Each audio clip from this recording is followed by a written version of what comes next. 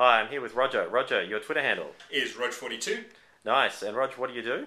I enable people. I'm starting up a software development company and I'm passionate about enabling people with technology, specifically mobile technology, but communications and mobile technology. Fantastic. And what are you passionate about, Roger? Apart from mobile technology, pretty much living life to the full. But if I can help people identify, articulate, and then solve their problem, either through interpersonal skills or technology, that's what, what really turns me on. Thanks for being on RealTweeple. Thanks, Roger.